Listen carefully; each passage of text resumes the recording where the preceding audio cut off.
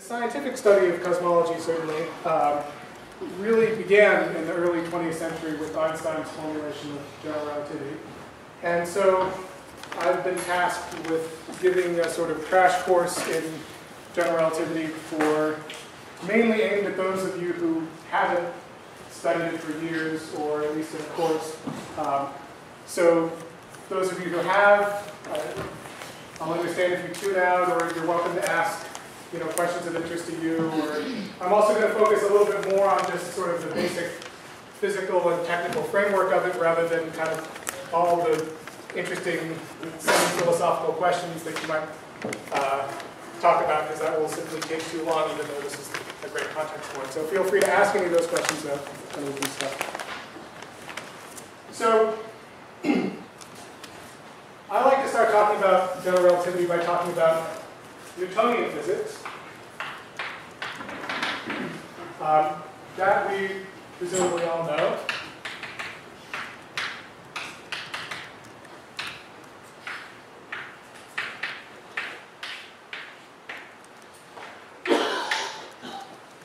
And Newtonian physics really has two parts. I'll call them Newton 1 and Newton 2. There's a part that tells an object how to move, that is, you give the second derivative of its position in terms of some force or uh, sum of forces that are uh, that the particle is subject, subject to. And the second part, the force that at least you knew about the gravitational force, um, which depends on two masses and is really thought of kind of as this instantaneous two-body force um, that given some mass one, I can call this the force on two, or I can call it the force on one. Uh, for now, I'll say two, gives, uh, if I make this, well, depending on the how I define the r's, this gives the force on two in terms of just this instantaneous two-body reaction um, with mass one. Now, let's look a little bit deeper at these, um, starting with Newton 1. First, it's nicer to think of uh, F equals dp dt. You know that it's nicer because you can treat things like things that split in half and so on. Um, the momentum is mv. And um, so this contains, in some sense, all of Newton's three laws. You can see that if, um, if the net force is zero, then the momentum is constant, meaning that something sits at rest or travels uniformly at uniform speed in a straight line. Um, it's also the case that if momentum is constant, and by thing you really mean the center of mass of some potential system of objects. Um, and if the center of mass of that potential system of objects is constant, then that basically tells you that if you consider subparts of that and they act on each other, that they'll have equal and opposite reactions in the sense that the change in momentum under some duration of force has to be equal and opposite so that the sum stays the same. So you get Newton's uh, third law as well. So this really contains Newton's three laws of dynamics. Now, um, but there's, there's sort of a subtlety hidden in there, which is that when you say um,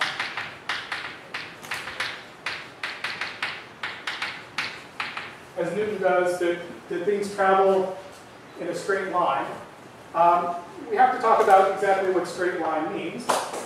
That's intuitively clear to us, you know, a straight line is one that doesn't curve or keeps going in the same direction, um, and those are useful notions. But another useful notion for our purposes is that a straight line is the shortest distance between two points. So we can take two points in space-time A and B, consider all possible paths between them. Introduce some Cartesian coordinates x and y, say, we can cut this straight line, sorry, cut this line into many infinitesimal segments, which are then um, which we can then sort of expand. And as long as this line isn't sort of infinitely wiggly, when we expand them and make these small enough, we'll get a little triangle like this.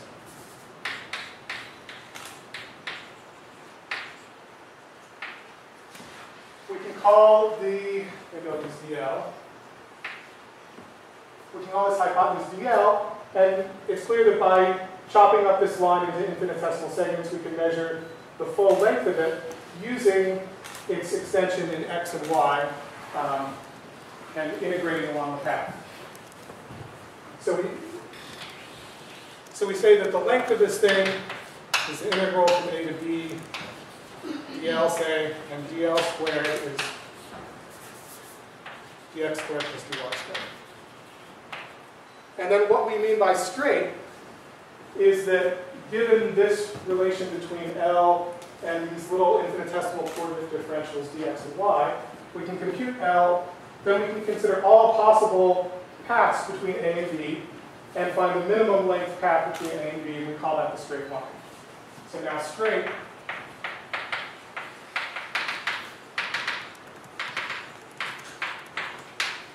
is the minimal length, is the, the line of uh, minimal L. Now, this thing we can give, this is this object here is a very important one. It tells us if we've set up some coordinate system that we can use to label points in our space-time. We can use it to label small coordinate differentials between two points, like this one and this one. Um, and given those two points and their coordinate labels and their, the differentials of those coordinate labels, it spits out a physical length, uh, L. So I can draw this on the board with, you know, as 20 centimeters long, whereas this might represent in, in reality, you know, an intergalactic distance. And so this provides the translation between the sort of map that I draw on the board and the coordinate system that I draw on the board versus the actual physical reality. So this thing is physically real. This, these x and y's are at some level arbitrary, in that I can clearly use a different set of coordinates, that x and y, uh, and I ought to get the same physical length out of it when I use that x and y, or some other. So this thing that translates coordinate, uh, that, that tells you the difference between the physical distance between two infinitesimally separated points in terms, of, in particular, in terms of um, their, the coordinate differentials between them, we'll call the metric.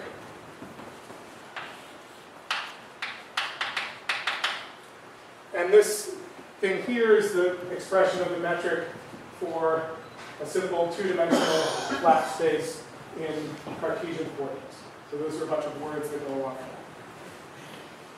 Now, there's something interesting about this metric, which is that there are some things that we can do to our coordinates that leave this metric looking exactly the same. If we take uh,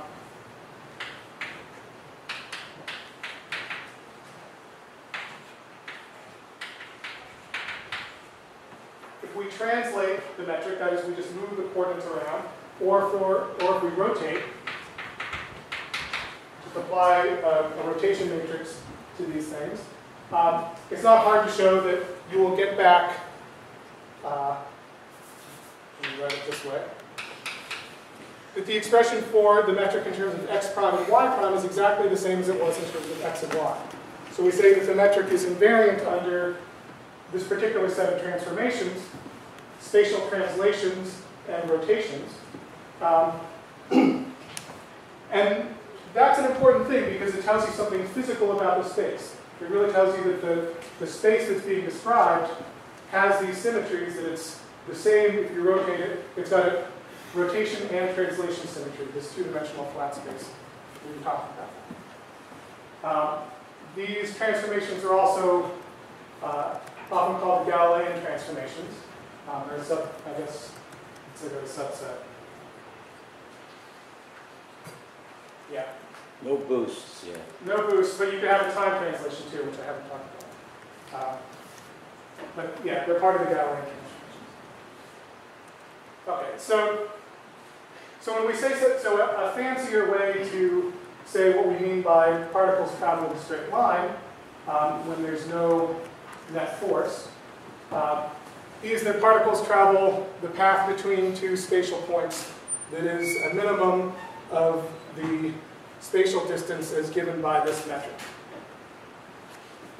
And obviously, I'm saying all these things in ways that are going to be useful for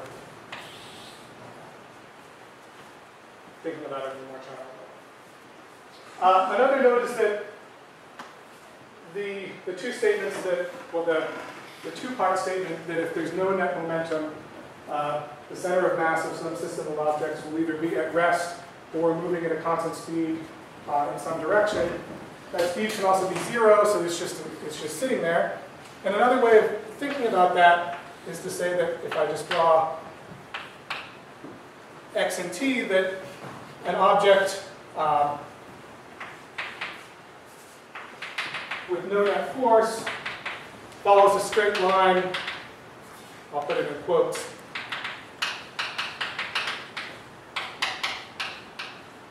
through space and time, or space-time or something, only meaning at this point that if I draw the standard uh, one Cartesian axis here and time here, that with no net force, things travel a straight line. Where the line is uh, more tilted the faster you move.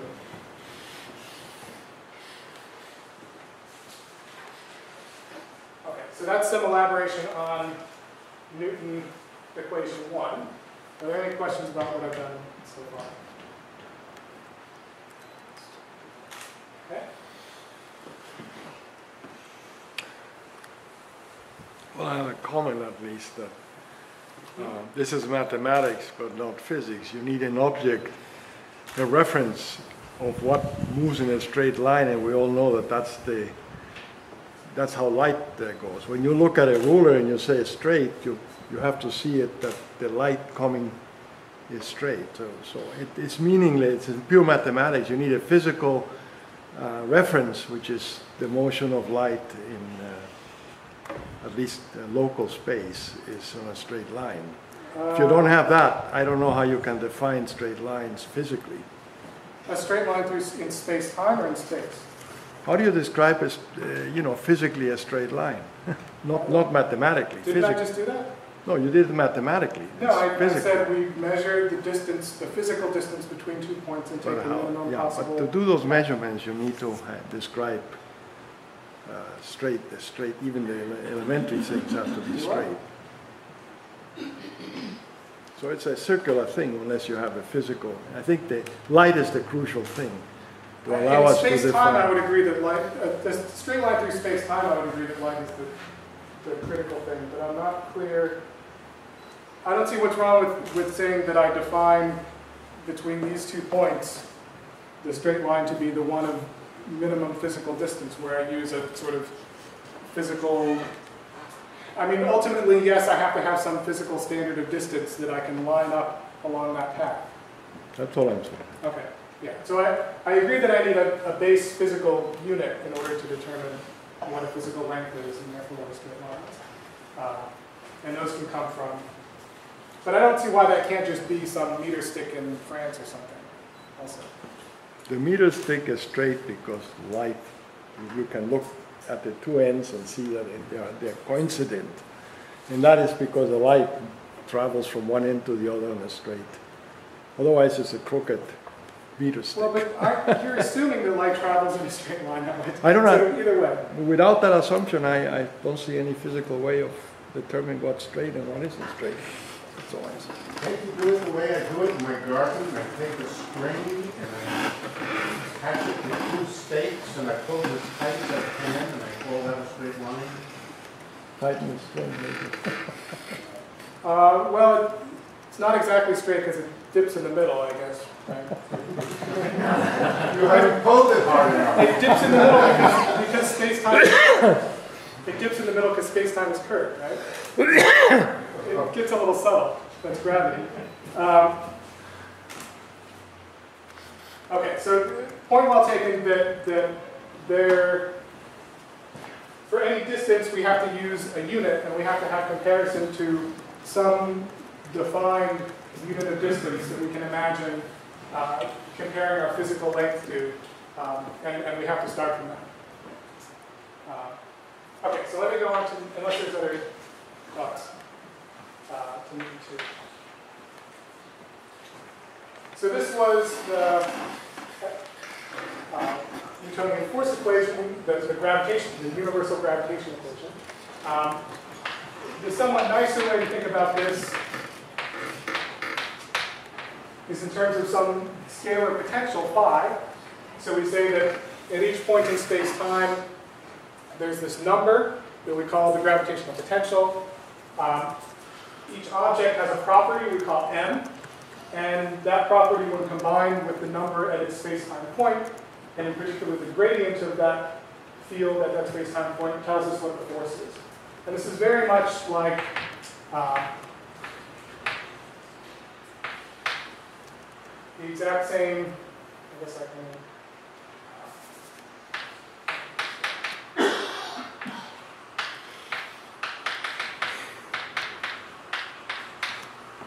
This is almost identical in, in this sense to, say, electrostatics, where we say we've got an electric field. At each point, we have a property of the object Q, which tells you basically how it experiences an electric field in terms of the force on it, and the electric field can be taken as gradient of some scalar potential. Now in gravity, we know exactly how to compute the scalar potential. If we have some um, distribution.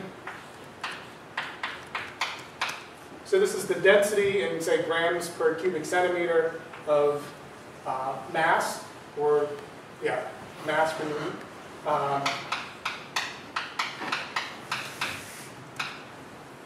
this is, uh, X.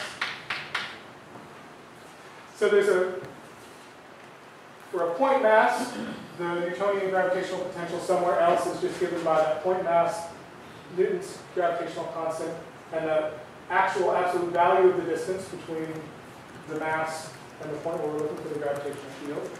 Uh, we can then do an integral over all possible masses, and that looks like this. That's the integral form. It's also often convenient to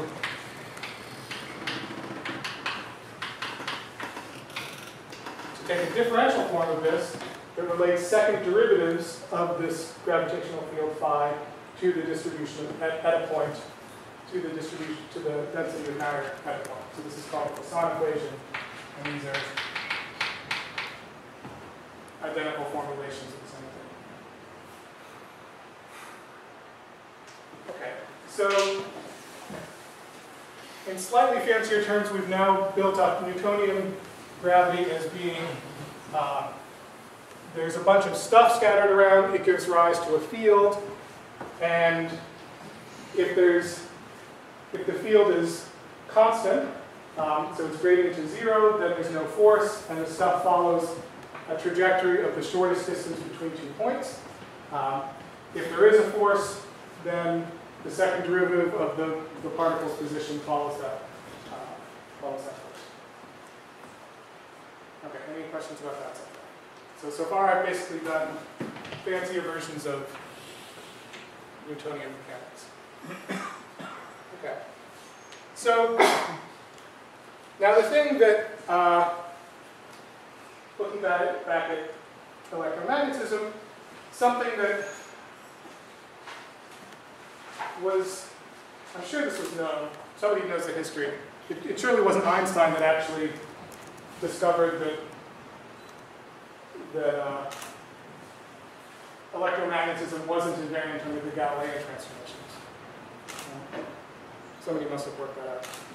But anyway, electromagnetism, Maxwell's laws that govern electromagnetism, is not, as opposed to Newtonian mechanics, invariant under those Galilean transformations. So Poincaré uh, certainly discussed this in 1904, if not earlier. And uh, That's right, that's right. So he, 'cause he, he specifically made the Poincaré transformations Exactly. to fix this. Presumably Lorentz even earlier. So did, I don't think, I think it was Poincaré who really thought of it in a group The whole theoretic context. for the ether hypothesis was the recognition that it wasn't invariant, it wasn't invariant under Galilean. Yeah, so- so what I'm wondering needed is- some physical anchor for a preferred Galilean point. So it's, so it's clear that, that in electromagnetism, there's just one speed of light, so you can't get the normal Galilean Right. velocity addition formula. What, what I'm curious about is, because I've seen it, there's this little book by Einstein where he works out sort of explicitly showing how you don't get, Maxwell's equations sort of in coordinate form are not invariant under the Galilean transformations. I'm curious as to whether someone else sort of explicitly did that before, if they were just thinking in terms of I think relative Lorentz velocities. But, okay. Yeah, I've never read anything by Lorentz, so. Uh, Okay, so anyway, it was known prior to Einstein um, that special relativity did not, that electromagnetism uh, did not have the same, these same symmetries as Newtonian mechanics. Um, that in particular, um, that Maxwell's equations give you a, just a particular value for the speed of light, whereas in uh, Newtonian mechanics, if you have, you know, an object with a speed in, uh, relative to a second object, and then that second object is moving relative to a third object, that the velocity of the first object with respect to the third object is given by the vector sum of the two relative velocities, the first to the second and the second to the third. It seems obvious, and yet it's not true, in, um, if it, it's incompatible with the idea that there is uh, something like a, like a pulse of light that travels at a fixed velocity in all in any reference frame. Um, so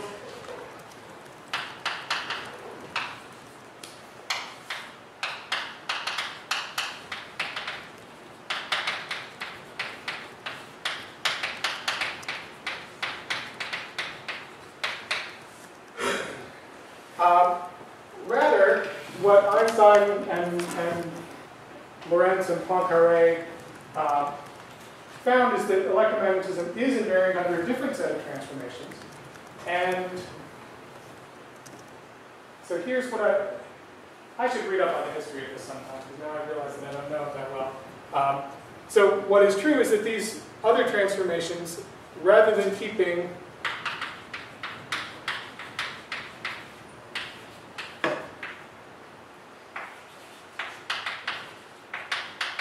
the standard sort of Pythagorean theorem metric of dx squared plus dy squared plus dz squared fixed or invariant. Rather, keep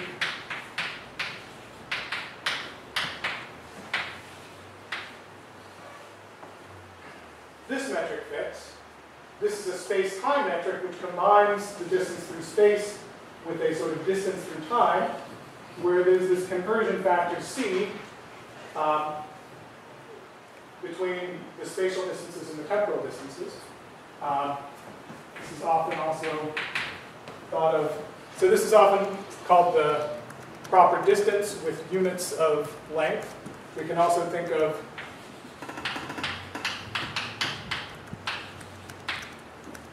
a proper time, so this is just basically the same thing but scaled by c squared um, with units of time. Both of these are measures of a sort of distance between two space-time points, which we'll call events.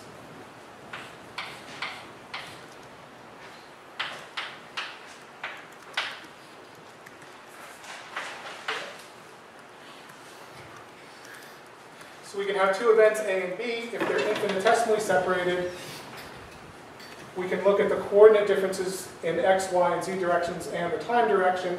We can assign this um, space-time distance according to this formula. Um, and Do you need a square somewhere?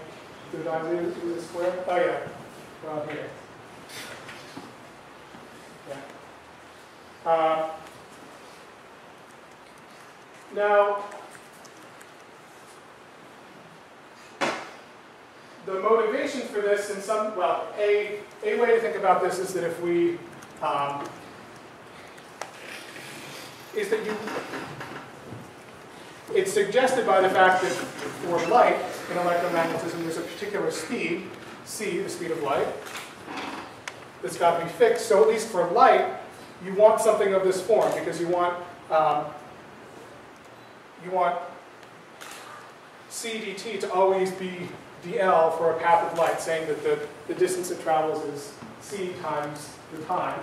So you can think of uh, the trajectory of a ray of light as something that takes that is takes zero distance in this new uh, new metric. So so in order to keep that distance kind of physically real, the zero that uh, that light travels physically uh, the same, independent of coordinates, you have to have some sort of transformation law that contains time and space in the same metric.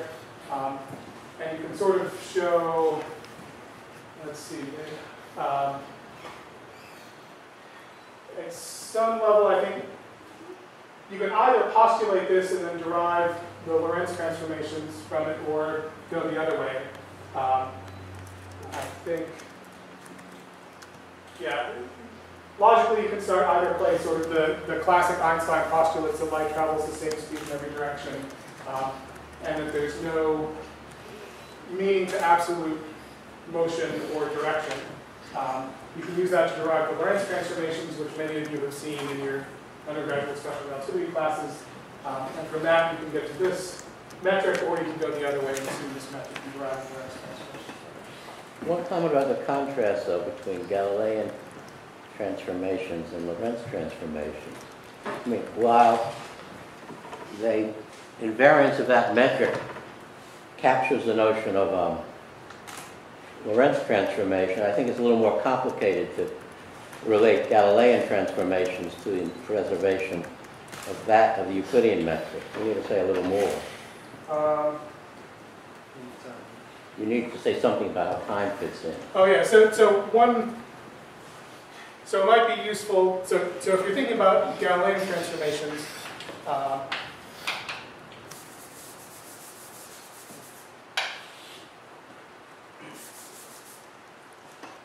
you can think of, um,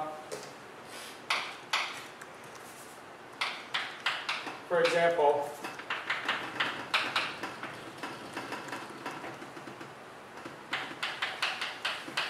So if you think of the, this is just a translation, you can think of the, rotations too, but a crucial point is that time um, transforms separately under the Galilean transformations. There's no connection between the time transformation. It just sits there in the, in the Galilean transformations.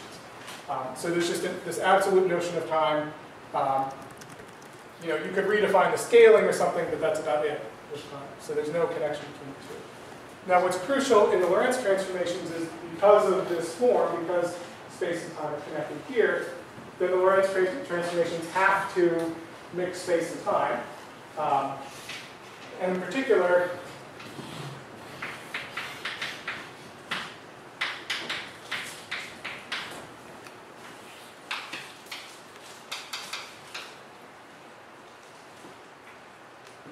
something you lose in going from this set of transformations to the Lorentz transformations as being the sort of transformations under which physics is invariant is that the notion of absolute time um, changes or that, that goes away in the sense that if you say that there are a set of events that happen at the same time t in, uh, in Newtonian physics, um, then they all happen at the same time t prime as well.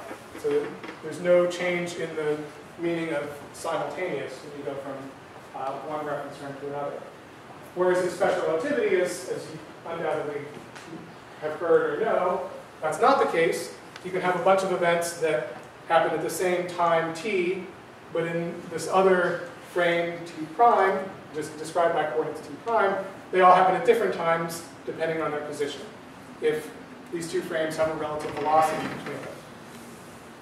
So the, so the, the a crucial difference um, is that space and time are, are mixed up in this transformation and that the notion of uh, absolute simultaneity between events goes away. Now, going back to our thinking about mechanics, um, we now have this new space-time metric.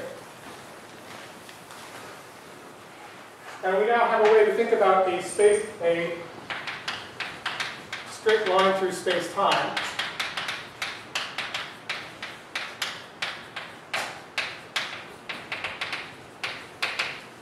And that's one that uh,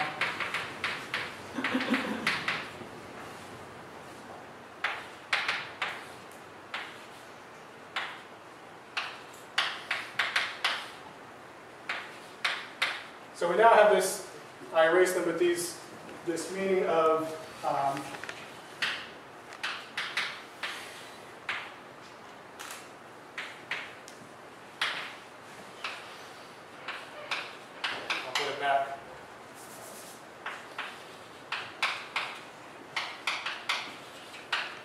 So we now have this new definition of a space-time distance. We can calculate the total space-time distance between two points A and B. Now taking a path through space-time or world line, it'll often be referred to. And if we integrate this um, proper time, which is more convenient if we're talking about a world line of an actual particle, um, we can get different values depending on which path through space-time it took. Um, and a straight line through space-time we can take to be an extremum of uh, this space-time distance.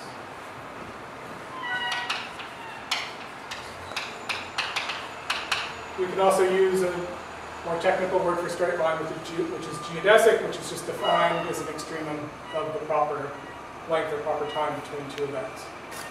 Now, it's important to notice that uh, physical particles that travel slower than the speed of light always, um, if you look at these formulas, slower than the speed of light means that tau has to be positive, ds has to be negative.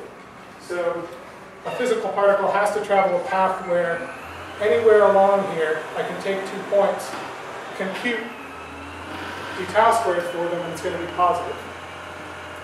What that means, if I've set up axes with, say, x here uh, and ct here, so that light travels on a 45 degree path, that means that this path basically has to be vertical. It can't cross, oops, it can't cross any of the light cones that I can draw anywhere along the path. It can't go more horizontal than the light cone because then it would be traveling faster than light. Don't you have the signs backwards on the right-hand side?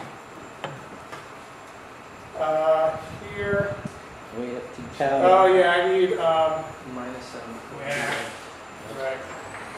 No, That's good now.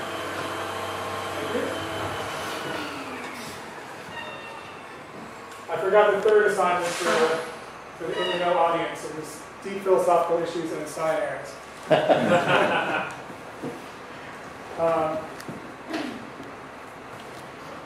so,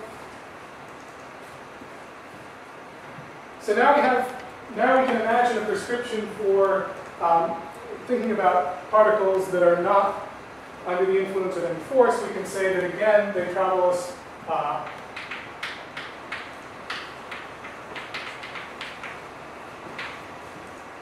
Now we can say in more precision what we mean by they travel through uh, along a straight line through space-time.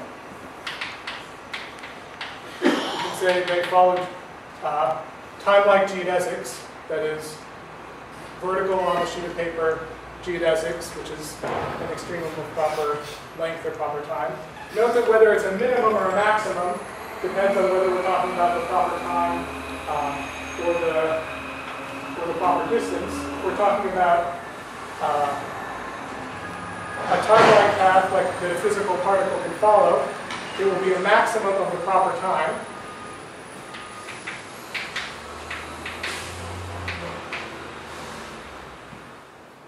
This is incidentally the direct uh, origin of the twin paradox, which you probably have heard of, that if I take this path, someone who more or less stays at rest, another one that goes near the speed of light. Um, there will simply be, by doing this integral, less proper time along this path than this one. This is the twin that stays home. This is the twin that flies off uh, in the fast rocket ship. Uh, and there it is. That's, you know, there's no, from this standpoint, there's no paradox whatsoever. Uh, they're just different paths through space-time have different lengths, just like two paths through space need not have the same length when they have the same two dimensions. Tim Maudlin would be very happy with you. Um, We could, you know, yeah, we- could discuss this more, but I think at this level, in terms of special relativity, there's just, uh, things that we. Now,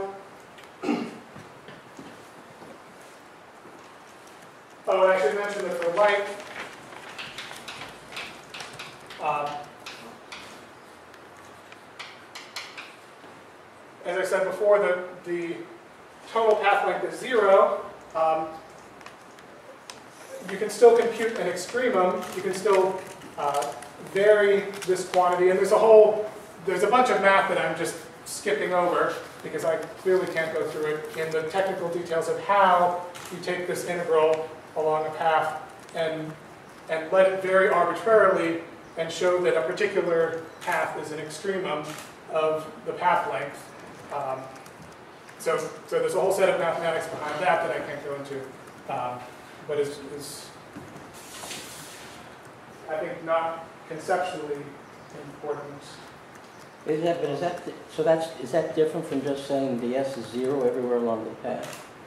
Uh, yes, because you, so for example, this path, ds equals zero everywhere along the path, but it's not the geodesic. Or you could have something that kind of null, went in a, went in a null spiral or something. Uh-huh. So not all ds equals zero paths are geodesics for light, but all geodesics are ds geodesically inclusive. In, in cases of reduced symmetry, you can often get away with this.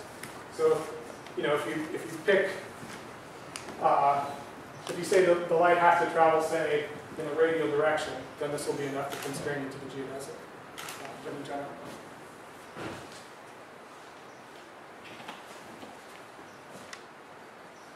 Now, um,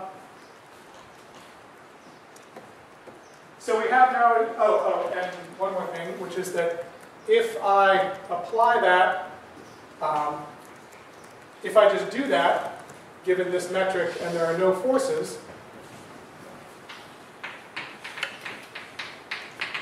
then I simply get the equation that, uh, how shall I write this? p squared x d tau squared equals zero, and p squared t tau equals zero.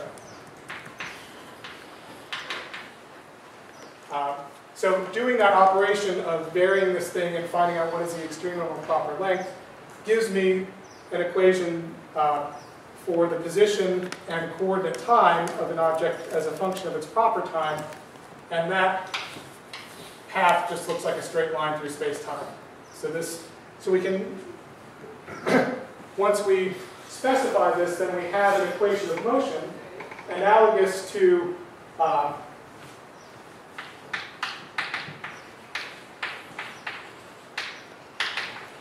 F equals dp dt equals zero that describes an object with no external force. Now, all right, so now we can talk about particles, you know, following paths through space-time and geodesics through space-time.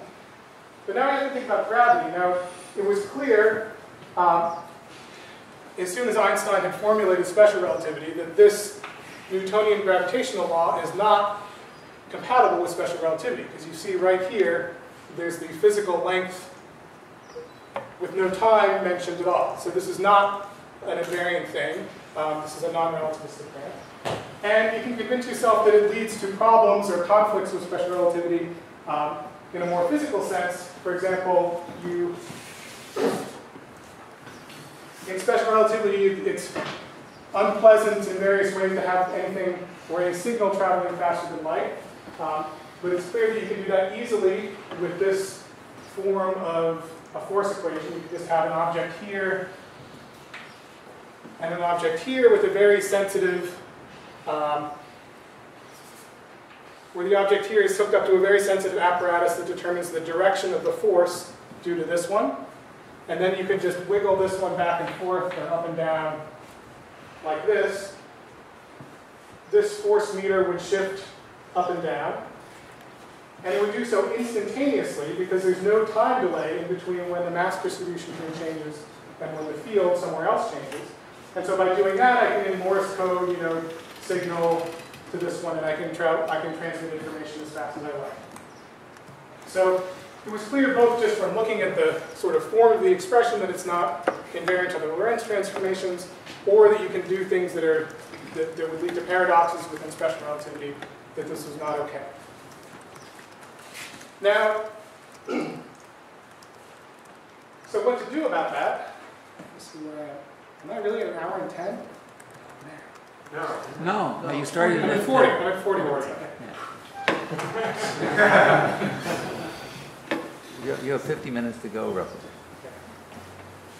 You should have said, am I really at 10? Hmm? We used to start at 2. Okay, so now a, a plausible thing to do might be to say, okay, instead of my gravitational field phi just being this field that's uh, a solution to the Poisson equation or something like that, let me, let me do something like Maxwell's equations. I can make phi some field that's relativistic. I can come up with some relativistic field equations that are like Maxwell's equations and, and then leave the rest of, of Newtonian mechanics pretty much alone. That would be a nice way to make, you know, a relativistic gravity theory, and, uh, and Einstein, I believe, actually had a theory like that at some point. Um, but it's not the right way to go. And the crucial clue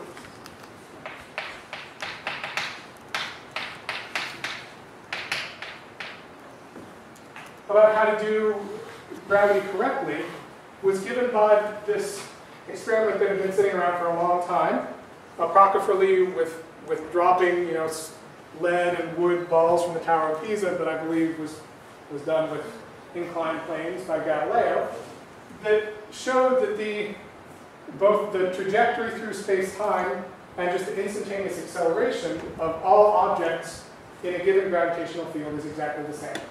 That is, um,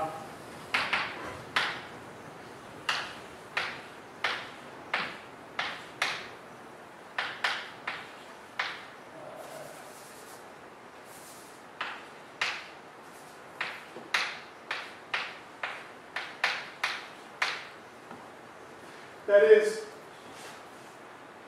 and this is strange in the following sense. Uh, if I have an object, um, then I know that to accelerate it to a certain, at a I have to apply a certain force to it. right? And there's some intrinsic property of the object that resists acceleration. So the more acceleration I want to give it, the more force I have to give it. We're of course familiar with some objects, like bowling balls require more force to give them a particular acceleration than other objects like feathers. And so we can call that the object's inertia, or inertial mass. And it has to do with, you know, a resistance to acceleration.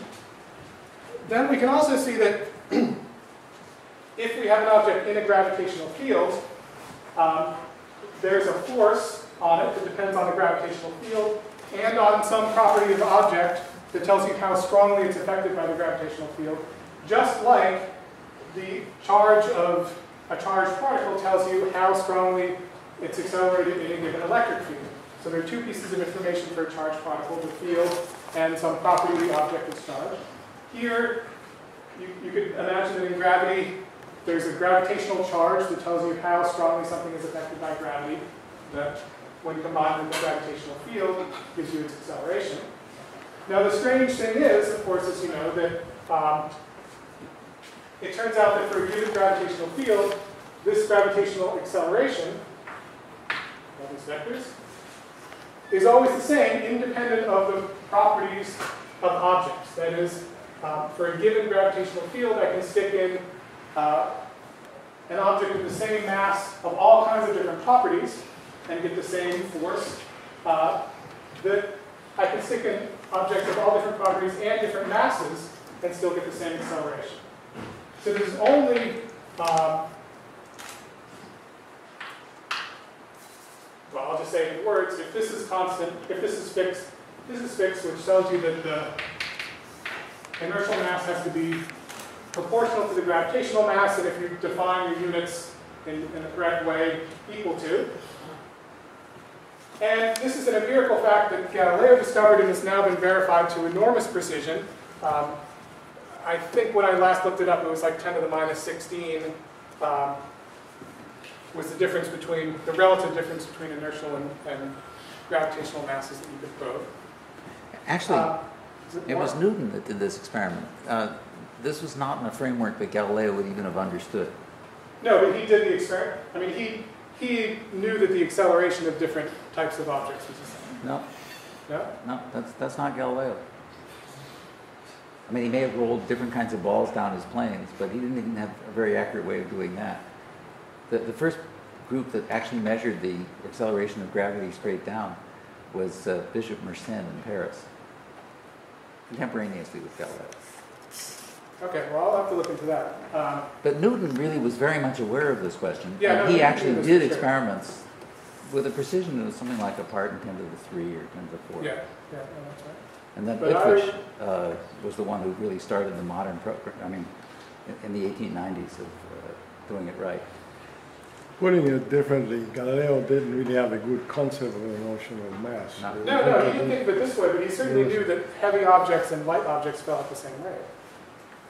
Yes, although the Pisa story is almost certainly apocryphal. No, but he has in his dialogues, he talks about how Yes. Aristotle would say No, no, no, but there, no, his argument was, you take two objects and imagine there's a thread between them. It's not going to change the rate at which they fall. That, so he gives a, a thought experiment uh, as his argument in, in the dialogue. Uh, Yeah, yeah. No, it, it, I totally agree that he did not think of it this way, but he, I would say that he did, He doesn't actually say he did the experiment. I mean, I remember that part of the dialogue, and, and he's giving this thought experiment. no, there's no evidence that he, he dropped, it, I read recently that there was some controversy that people were claiming that he did actually drop the balls, but let's assume that he didn't. But I think, I thought that there was just evidence that he had done some experiments with rolling the inclines to support this. Um, But I could be wrong about that. Stillman Drake did a bunch of things with strobes and stuff to reproduce Galileo's experiments. And in the early, in the seventies in Scientific American, um, there's a, whole- he has a whole article on Galileo's discovery of the law of free fall. Okay. Um, uh, What was the name again? Stillman Drake, Stillman Drake. Okay. Um, In any event, it's true that uh, this is almost, if not exactly identical, identical to incredible precision, the inertial and gravitational masses of objects. Um, Now this, um, this is a kind of strange thing. It wasn't probably as strange to do because there weren't other forces lying around, um, other sort of fundamental forces lying around to compare it to. Um, but it is strange certainly when you compare it to the other forces that we know of now. But there is a, a very natural sort of explanation of this seeming coincidence um, that it suggests, which is something that it suggests is that the trajectory, sort of the, the path that two objects take through space-time, if you start them with the same, at the same position and velocity, just is completely independent of the, the characteristics of the objects. It's independent of their, their masses, it's independent of their compositions, if you take away, you know, other forces that just leave gravity. It's absolutely independent of anything um, that has to do with the objects themselves. So it's a little strange to think of it as a force between these objects and some other objects, as a force tends to, you know, relate to the properties of the different objects, or at least their masses. With gravity, it seems that once there's a gravitational field, it just doesn't matter what sort of object this is. So something this might suggest is that it depends on something else um, other than the properties of object, and the only other thing that's lying around is the space it's moving through. And so you can boldly imagine, as Einstein did, that gravity, rather than actually being a force, as considered by Newton, that is sort of two bodies interacting, is a property of space-time, that these bodies travel through space-time in a straight line, but that the structure of space-time is altered such that it appears that they appear to take, say, through space, a curved path. So that was Einstein's postulate that um, free particles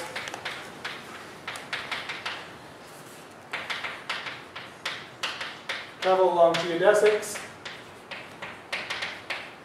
um, through an interesting space-time.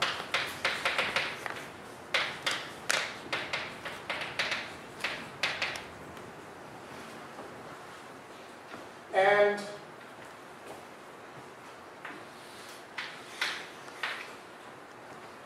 the, the way this is precisely as before, to say that they follow a path of extremal proper time between two events, and that, but now,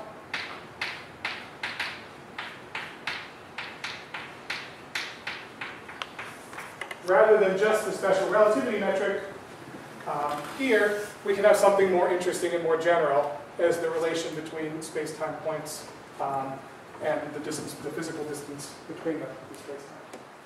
So an, a, a sort of interesting example of that is if you take the metric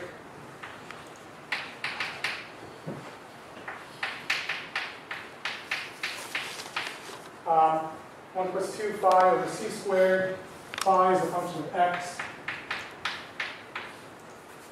This is just the regular Newtonian gravitational potential. Computed in the usual way. So you imagine you have a bunch of masses sitting around. You compute the normal Newtonian gravitational potential.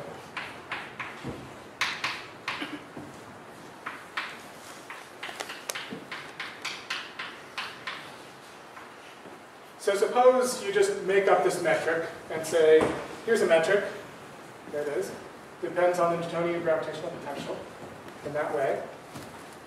If I send phi, phi to zero, um, this just becomes the regular Minkowski metric from before. It turns out that if you take this and compute the proper time between two points and extremize it, and note that um, x is fixed, so we're, we're imagining that phi is uh, static and small. So we're going to go to first order in phi over c squared.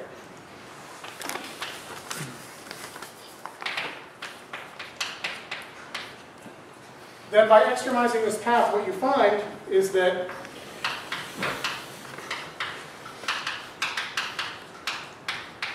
you can recover uh, the acceleration is minus grad phi for some object.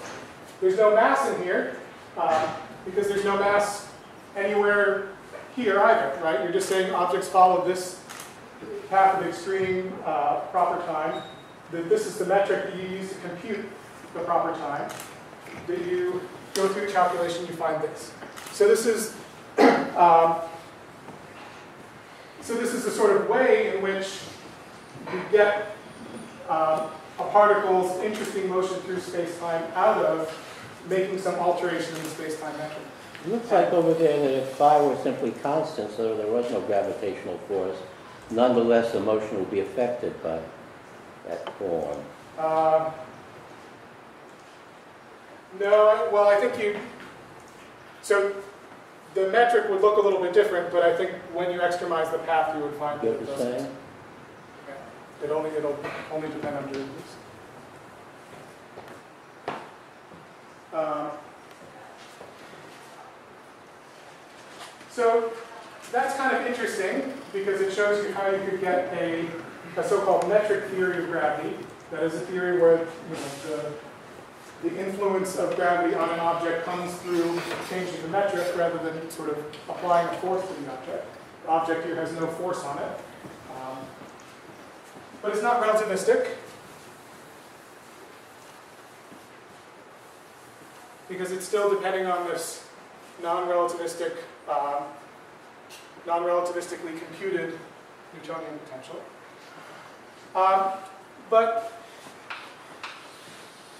to think about, and, and the real problem here is that, um, you know, this, well, this is static, so we have to think of a metric that um, can depend in interestingly way, interesting ways on time, and we have to think of, uh, we have to think of how we can relate the metric to uh, the, the source of gravity, the energy, uh, um, in a more relativistic way than is given by the, the previous description.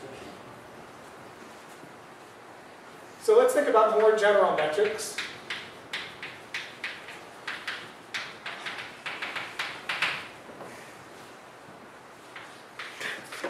Now, if we have, um, you know, this little, say this little infinitesimal interval, and these are three orthogonal axes, then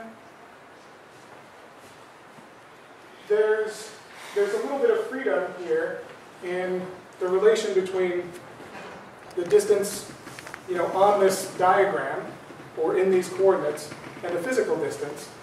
Because these are orthogonal, we, we sort of know that we can calculate it using the, the three-dimensional Pythagorean theorem, but we don't exactly know the relation in scale between some interval in this coordinate and some interval in the real physical space. So this could be, you know, the scale, I could easily draw a three-dimensional map where the scale in this direction is, you know, one inch equals 10 miles, here one inch equals 20 miles, here one inch equals 30 miles. It's still a useful map, but I have to know and keep track of the fact that the scale in three directions is different. If I know that, if I know the scale in three directions, then I can easily take two points on the map, rescale them into three into the physical lengths, and then add them up using the Pythagorean theorem to get the physical length of this. So in other words, I could say EL squared equals some scale in the x direction, and then some scale in the y direction.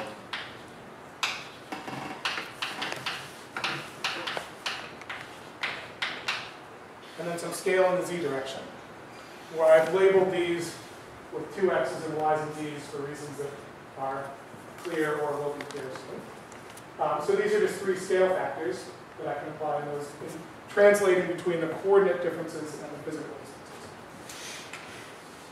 Now, if I do these orthogonal, if they're not orthogonal, then other terms could come in when uh, translating between these two. Uh, and those terms would look like things like g, say xy, dx dy, g dx dz. You could have a term like g zx d z dx, but that's just going to combine with the, this one, so, so I might as well, there's no sense in uh, sort of separating these two. It's, it's simplest just to define something where gxz equals gzx um, and use it to and describe these two terms at once. I didn't say that very well. Um, well, it, it'll become clear. So I have terms like that. So I can have basically um, all the terms that combine two infinitesimal coordinate separations with some scaling factor, or some, some coefficient. Um, and if I want to write that fairly generally, I could write it as a sum over i and j, dij, dxi, dxj, where x uh, 1, 2, and 3 is.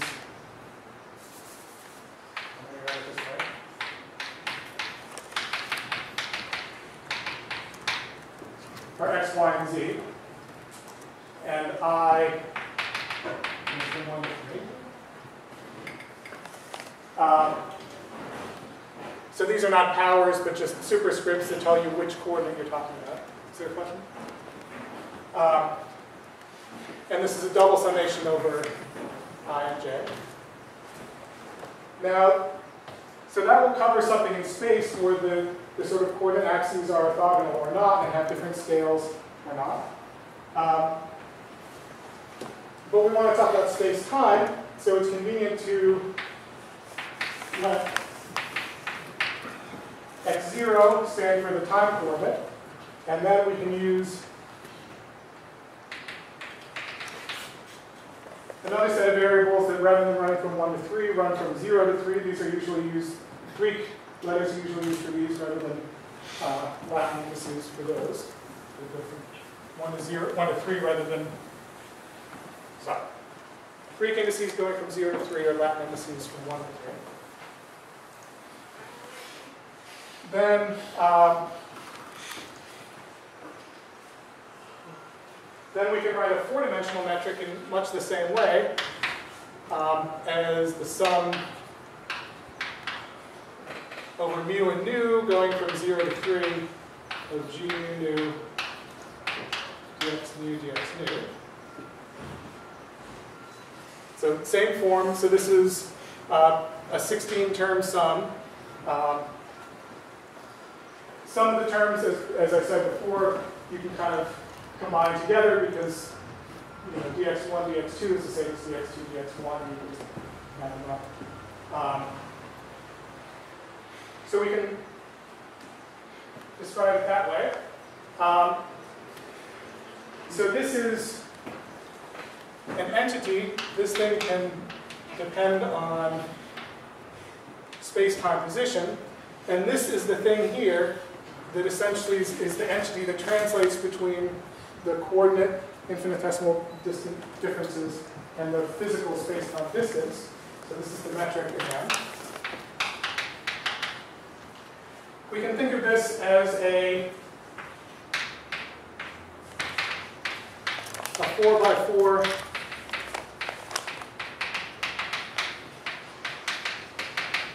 symmetric matrix. Um, you can show, so any matrix is composed of a symmetric and an anti-symmetric part. You can show the anti-symmetric part of G would, would contribute nothing when it's summed over H. So you only really need the symmetric part. Um, there's one of these at each point. Um, you can also describe it as 10 independent functions of position. Um, so a 4 by 4 symmetric thing has 10 independent numbers because the other six are related by symmetry. Um, so 10 independent functions of position. And this is the thing that describes the structure of space-time in the sense of giving you physical distances between uh, infinitesimally separated points. Let me pause for questions there.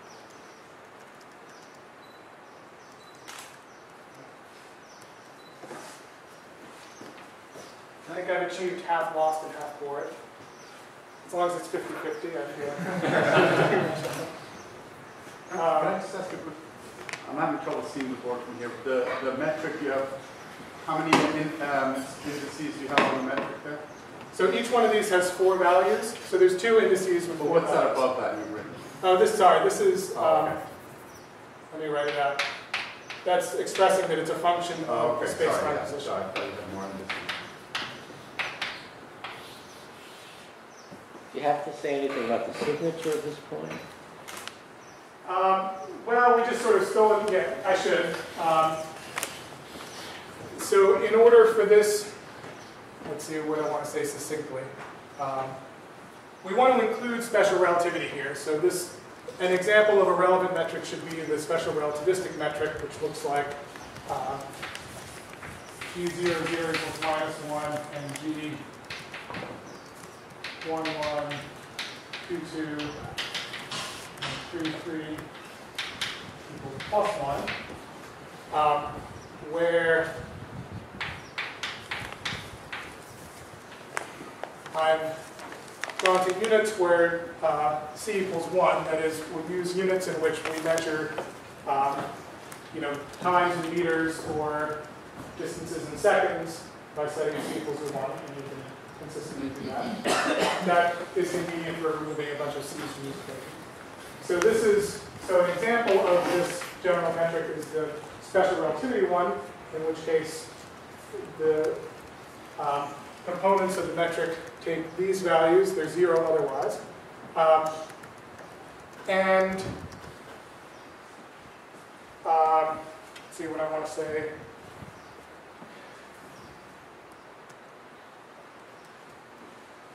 It will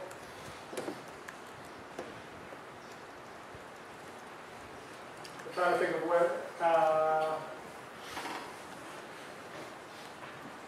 for any for any valid metric, um, it will be a four by four symmetric matrix that if I diagonalize it, um, will have a minus one, will have a positive, a negative, positive, positive, positive uh, in the diagonal elements. I guess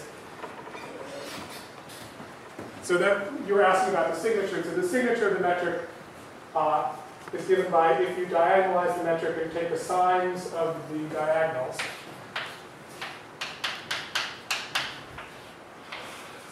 Um, special relativity has minus 1, 1, 1, 1. In general, they could be different, but this is always going to be negative and these positive. Um, that is something you can't change by changing the coordinate system. It's sort of an intrinsic property of the space-time um, that make that, from a more fundamental standpoint, gives you a, the real sort of a real difference between time and space.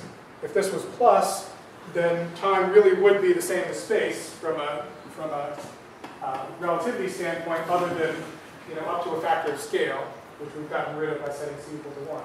So this is really the thing, this minus sign, that sets time different from space that makes, um,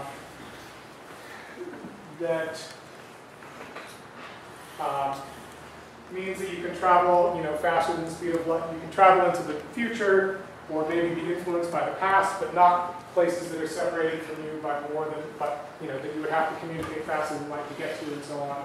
Um, it's why you can't you know, walk to yesterday and things like that, just because of this difference in the signature. Now, so this general metric tells you all kinds of stuff about the structure of the space. You can't walk to yesterday, but you can walk to the future? Um, no, you can't. You can't walk to the future either. Okay, fine. No, no, you can't walk to the future. It's even harder to walk to yesterday. Um, but you, you can't you can't change your temporal direction with the same obvious ease with which you change your spatial direction.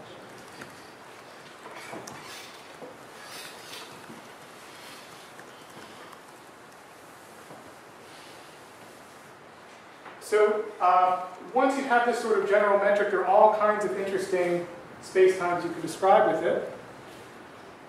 Now I really am down to 20 minutes, right? Yeah. Um, but let's continue to look at the structure of the theory. So now we have this general form of the metric, and we want to do the same thing again. Let's extremize eta squared, which is now just minus ds squared. So you can go through the same mathematics, um, and it's mathematically painful the first two or three or four times you do it, but you can go through the same mathematics, and what you find is you get an equation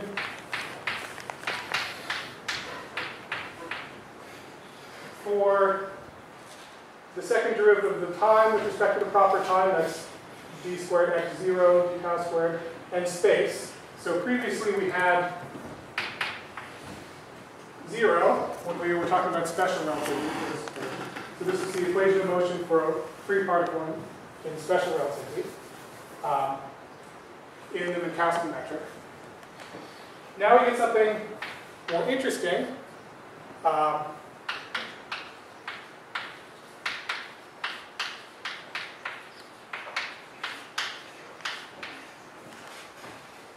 we have four equations for the four values of lambda. Each one of them looks like a sum of 16 terms, where these two can take um, each can take four different values. And it's the set of coefficients. These things also depend on space-time. Um, times the first derivatives of the position with respect to the proper time, the four-dimensional position, so the position and time with respect to the proper time. So this is the new stuff we got by giving space-time an interesting structure. These things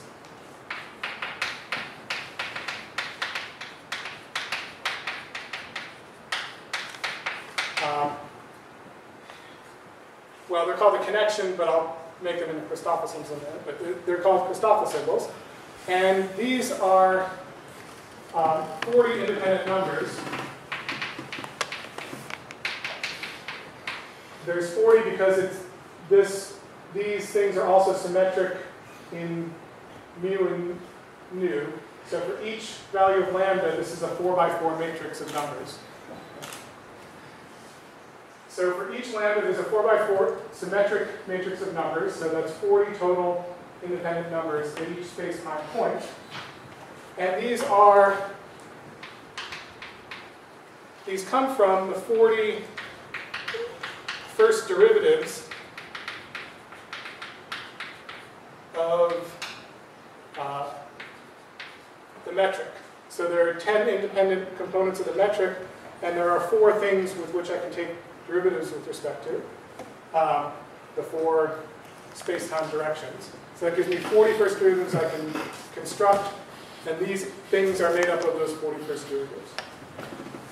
So I, what you, once you have the metric, right, the Christoffel symbols are completely determined. Yes, that's right. But the metric consists of, you said it was a 16 by The metric is a. 4 by 4. So the 40 number, I mean, you take, it's, a- these are functions, therefore, you don't get anything, you don't count by derivatives. I don't understand what you mean by 40, by the number 40. um, at a given point. So, so there, so There if I may be pick a 40, point, there may be 40 numbers, but they're all calculated from, from the, from the metric.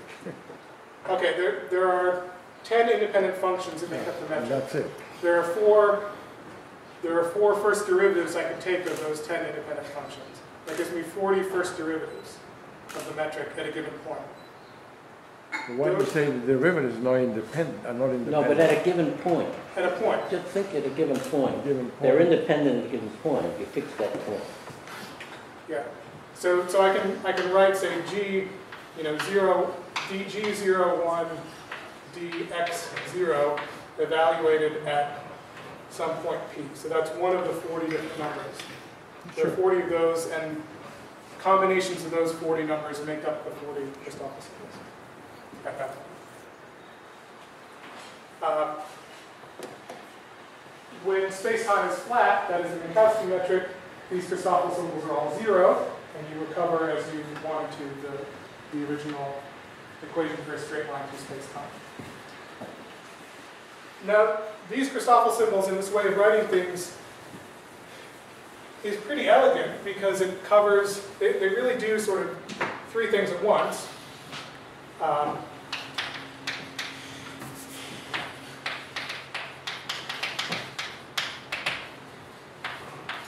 The first is, suppose you just take um, special relativity, but in some funny coordinate system, or just say spherical coordinates. Then, other than the, the point, that's, other than radial paths, the, the straight line paths in spherical coordinates are kind of ugly.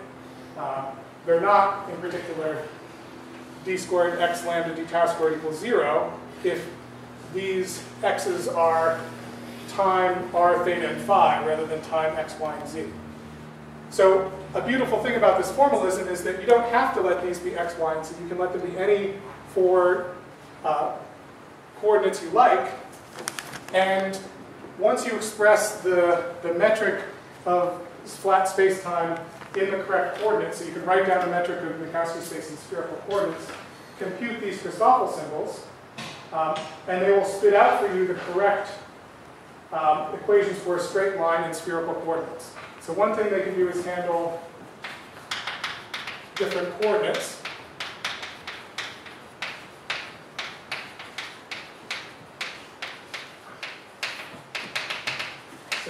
General in that sense. Um, another interesting thing is that they will handle um, different reference frames in the sense of handling uh,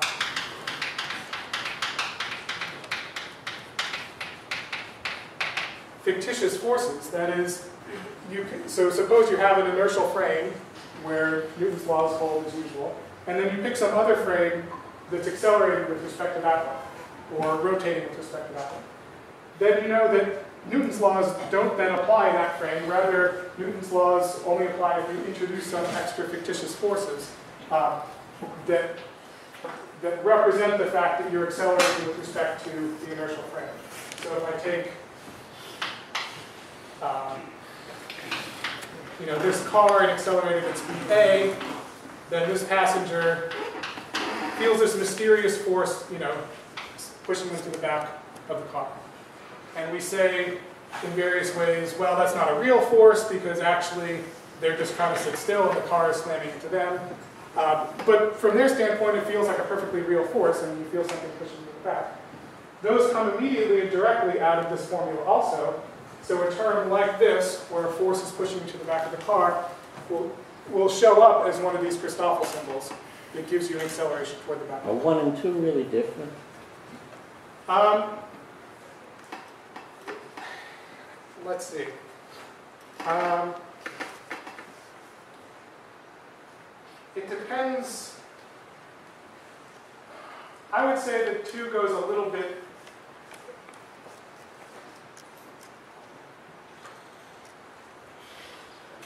So in terms of, maybe not, so, so if space-time were, were just flat, then certainly they would be the same thing, I would say. Um, except that uh, the way you think of this is a little bit different. So um,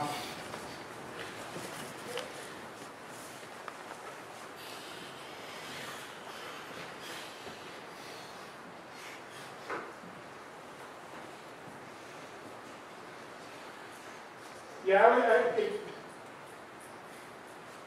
you certainly can, can say that um, represent this frame as some new set of coordinates that just follows the car along. Um, but I think it, it's a bit more significant um, in that,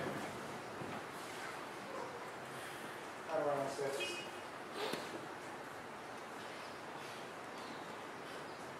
Um,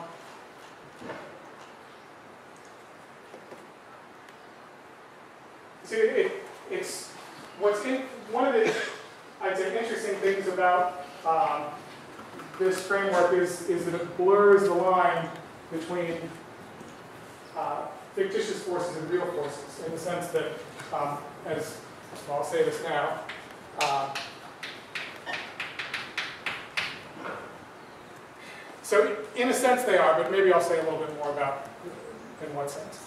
Um, so the third thing that they can describe is gravity, um, that comes from the non-trivial metric of the space-time. So, so these are in some sense both, uh, these would both apply to, you know, to the regular Minkowski metric uh, with no gravity. Uh, if you have a non-Minkowski metric, then you'll get additional forces because you don't have a Minkowski metric. And those forces are in some sense what we call gravity. But it, there, there's a fine line between those two. So if you, um, if you just look at the metric inside the car, um, it's true that this, if you look at the metric inside the car, uh, by going taking the coordinates attached to the car and transforming the metric. Um, well, I said that either. Um, yeah, let, let, let, me say something about it later. I, I, I, keep being about to make statements that I don't want to say, so I won't. Um, so if So if the space-time structure is non-trivial, then you get some extra forces from that non-trivial space-time structure that we generally call gravity. Um, now, this is rather interesting in connection with this one um, because of, of a whole uh, set of thoughts that I skipped over, um, but were very important to Einstein about the equivalence principle. So the idea is, if I am sitting in some closed room, um, and I have some objects that I can play with, then if I drop that box at, in free fall, so it's accelerating down at the speed g, that Einstein postulated, and this is the, his a sort of key postulate of general relativity, that the physics inside this box, if the box is small enough and non-rotating and other stuff, is exactly the same as a box out in intergalactic space with no gravity. That is, you can sort of make gravity go away by going into a free-falling frame. A corollary of this is that if I'm sitting on a planet with some gravitational field g, it's exactly the same as if I'm out in intergalactic space, but with some acceleration of my box this way of g. So what the equivalence principle shows you is that um, what we previously called fictitious or inertial forces, like this one, are in fact exactly the same thing as what we call gravity. I mean, the, the description of them is identical, and in a real sense, we can think of gravity, um, the gravity we feel in this room, as being fictitious forces caused by the fact that the ground is accelerating upward with respect to the local inertial frames. The inertial frames that, in which Newtonian mechanics applies are accelerating down, they're kind of falling through this room. With respect to them, we're getting accelerated upward by the floor. We feel this weird fictitious force pushing us into the floor, and we call that gravity. But it's really no different from this force that's pushing us toward the back of the car. So there's kind of a, um, there's this very interesting way in which uh, gravity and fictitious forces get very much, uh, have very much the same sort of status in general relativity um, as, as really manifestations of the way in which local inertial frames are kind of stitched together on a larger scale. The, that in gravity there are these changes in the local inertial frames as you go from place to place, um, and the same in a system like this as you go from time to time. So that's what I wanted to say that I was fumbling about earlier, but I'm not sure if that answered your question. Anthony, one, one thing that I think people often find helpful is you, if they understand that in Newton's framework, fictitious forces are always proportional to the mass, and Mhm. forces that are proportional to the mass are always fictitious. That is where any object, regardless of what it is, has uh, an acceleration that's force divided. I mean, or to put Uh, it differently, it's the acceleration that's important, and it's independent of the mass. As Yeah, follows immediately from your Christoffel. No, no, certainly that's, the first part I totally agree with, that fictitious forces are always proportional to the mass and can be described in this way. The fact that, I suppose it's true, yes, that if, if, if there's a force that's only proportional to the mass, you'll always be able to find a frame, you'll be able to relate that by some acceleration to a frame where there's no force. So you can Exactly. go, uh, yeah, okay, I agree with that. Yeah, that's, that's useful. Thanks. Okay, now, so this thing here, the geodesic equation, um, is the general relativistic version of Newton's first equation, that is F equals dp dt. So this, is, this tells you, given some, this, this is sort of how gravity tells things to take a particular trajectory. But we're missing the second part. Um,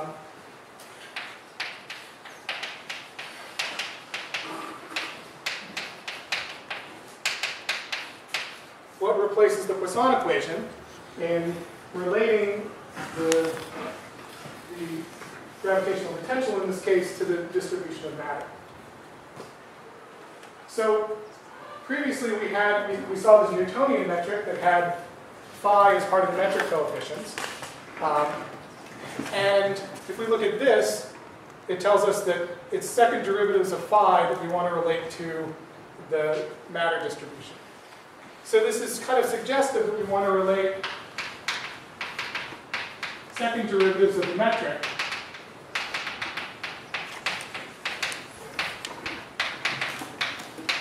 to the matter distribution. Um, these things contain first derivatives of the metric. So this is so in a vague sense we want to um, relate first derivatives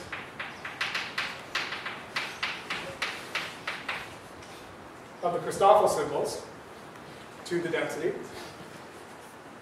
Now, so we want some mathematical entity that is made up of first derivatives of Christoffel symbols, and it's something that we can relate um, in our framework to some description of the energy density. Now, one thing I haven't said much about is curvature, but it's clearly a, a key point because if we think about what, you know, why are, are paths not straight? Um, well, sorry, why are paths interest, why are straight paths interesting um, in a different metric? It's telling you something about the fact that the space or space-time that you're going through is curved. Um, in the same way that if you, you know, if I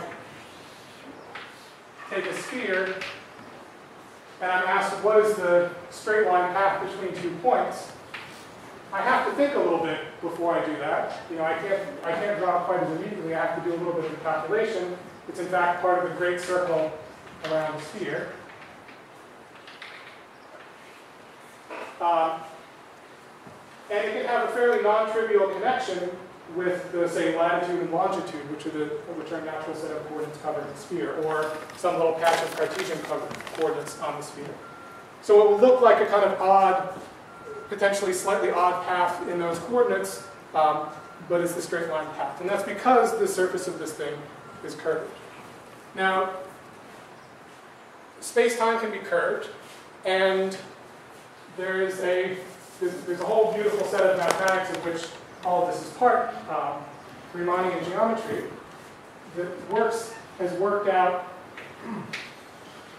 descriptions of curvature um, that are all based on the metric, the Christoffel symbols, etc. So this thing, R mu nu,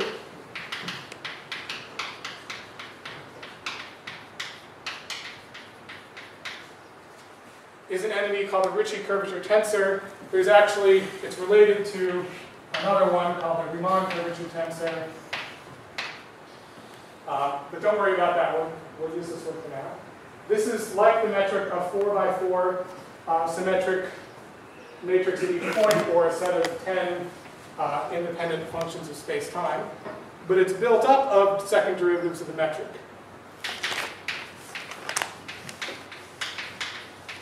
So it has to do with space-time curvature, and it's made up of second derivatives of the metric, so it's an interesting entity for the purposes we have in mind here. Um, yikes. Okay, but I want to I want to at least say Einstein's equation before I stop. Um, there's another 4 by 4 symmetric entity called the energy momentum tensor.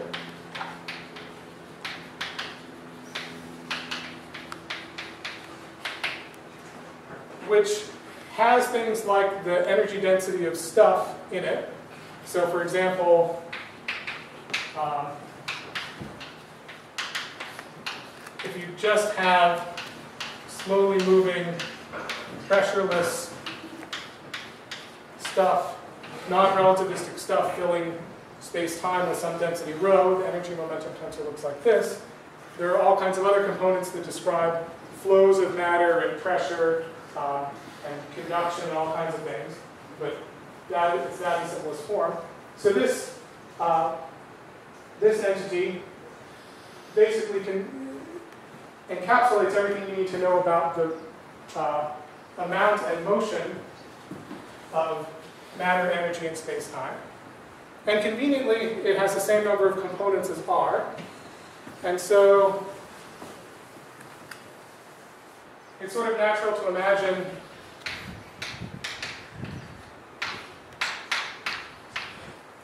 an equation, and Einstein did write it like this at some point that relates the Ricci curvature tensor to the energy momentum tensor, um, where there's something, there's a g in here to re reproduce Newtonian mechanics, there's some pi's and eights and stuff in here. Um, so this is a natural candidate. This, it turns out, does not work. That's not quite right, but you can make something that's very close to it. Um, if you compute r, which is the, basically the trace of r, the trace of this matrix, and you write down a very similar equation.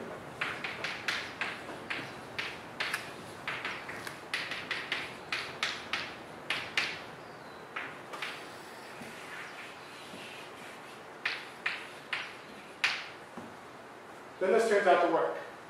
Um, in the in the sense that this is a it's a metric theory. It's built out of the metric. Um, the changes in the metric tell you uh, the interesting things about particle trajectories as they travel geodesics through space-time. Um, these things are, I haven't talked all about general covariance and tensors and things, but these are nice mathematical entities um, that are not tied to any particular coordinate system. It's all relativistic, um, and it's a theory of gravity in the sense that there's a connection between the structure of space-time here and the presence of energy here, where the structure of space-time then tells stuff um, how to move, and where if I take the, the weak limit of this, that is, if I take um, small amounts of matter that are slowly moving and so on, and imagine that the curvature is small, then I can actually derive that metric that I showed you before, the Newtonian metric. That is the weak field metric of general relativity.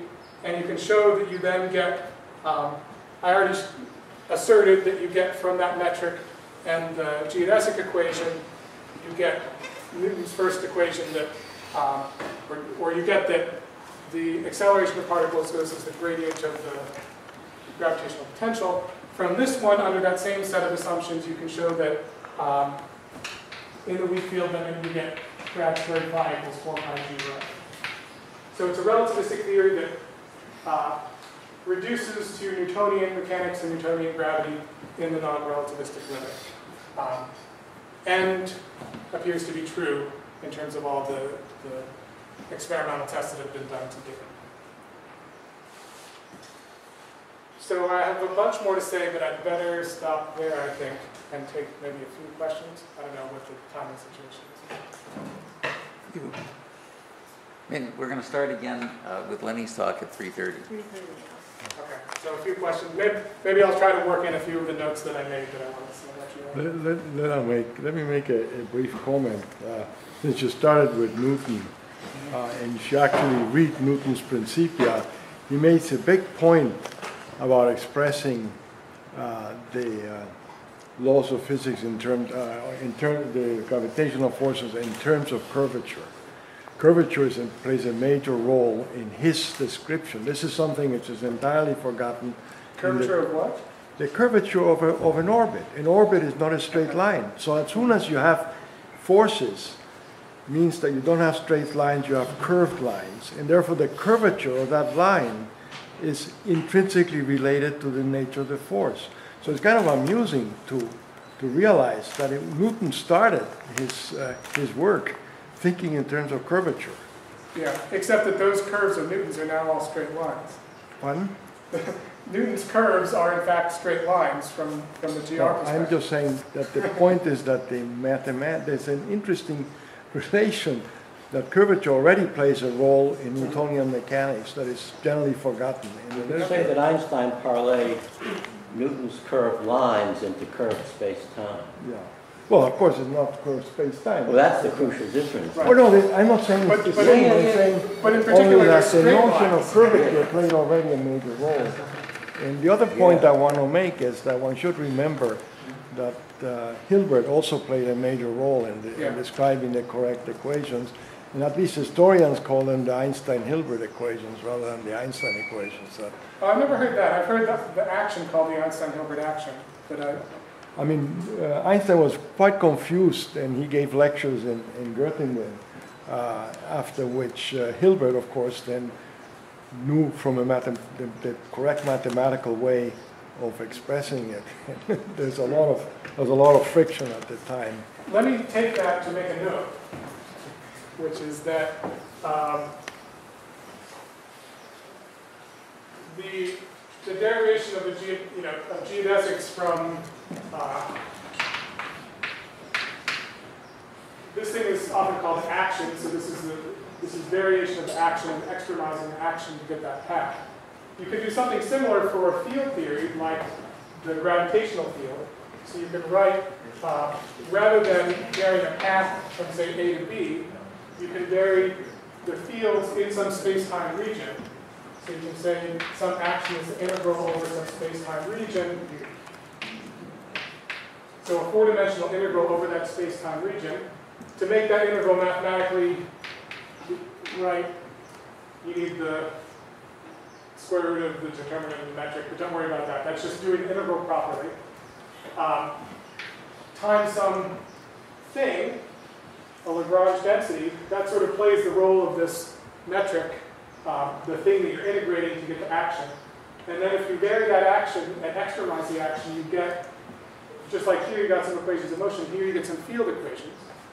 Now it turns out that if you stick in here the simplest possible thing you can imagine based on the curvature of space-time, that would be this Einstein, sorry, the, the Ricci scalar.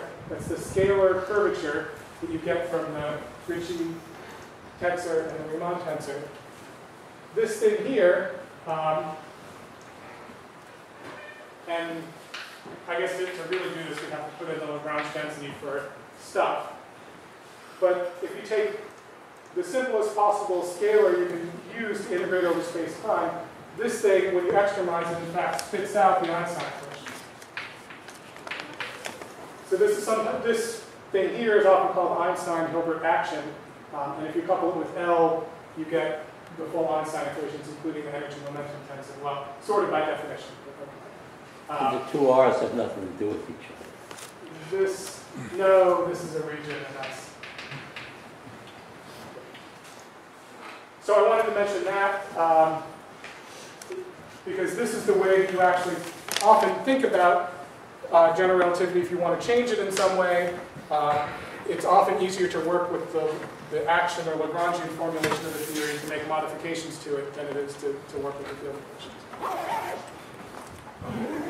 Yeah. Um, so for a given physical situation, how do I obtain method? Do I get it by solving these equations or? Yeah, so this is great. You're going through all the points that I wanted to talk about. Uh, so, so yes, if you, what these Einstein equations are, um, I erased them, but what they are is 10 nonlinear, whoops, uh, second order partial differential equations relating the second derivatives of the metric to this energy momentum tensor. Now to, to solve that, so what you ultimately want is the, the metric in some coordinate system as a function of space-time. So you want to find solutions, self-consistent solutions to those 10 nonlinear second order PDEs. That's really hard. Um, so there are two sort of approaches that people take in general to do it. One is, um, well, three maybe I should say. One is uh, simple um, T mu news. For example, T mu equals zero is a simple case. Um, so that gives you, uh, it's not immediately obvious, but that gives you R mu nu equals zero. That's still a pretty complicated set of equations, but it's easier. Um, and you can find solutions to this. Um, those are the so-called vacuum Einstein equations. So you can you can find you can do some simplifications like that. Um, you can employ symmetries. If you select spherical symmetry, for example, it cuts down the number of equations considerably. Um, if you pick spherical symmetry and vacuum, it turns out it cuts things down completely, and there's a unique solution to that. That's the Schwarzschild metric. Um, so you can get a lot out of assuming symmetries and, and simplifying that way. The third is, uh, I would say, numerical. So maybe there's maybe four. Uh, perturbative. So the third is numerical, which is that um, you can solve for the, so you can try to find a solution to the metric and dens and, and energy momentum tensor at some time. And And that's not trivial to do. Yeah. just a quick, I must be misunderstanding something. If- if- if- Shouldn't there be a, shouldn't there be a solution with T mu equals zero and spherical symmetry corresponding to Minkowski space? Yes, so that's the m equals zero version of the Schwarzschild solution. Oh, okay, okay, good. Um, so numerically, you can you can look for a solution at a given time to a reduced set of equations, some set of constraint equations, um, which is also hard to find a solution. But once you do, you can then evolve that forward, say numerically, to get a full space-time solution. And that's a, a major program in numerical um, astrophysics, especially looking, you know, solving things and trying to understand the structure of black holes and gravity waves and things.